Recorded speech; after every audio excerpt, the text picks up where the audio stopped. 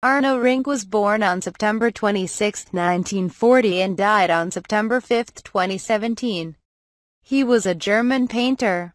He was accepted to the Hochschule für Grafik und Buchkunst Leipzig HGB in 1962 and studied under Werner Tübke, Hans Mayer Foreyt and Harry Blume. He is associated with the second generation of the Leipzig school, which paints in a German figurative tradition. Rink started to teach at the HGB in 1979 and was its headmaster from 1987 to 1995.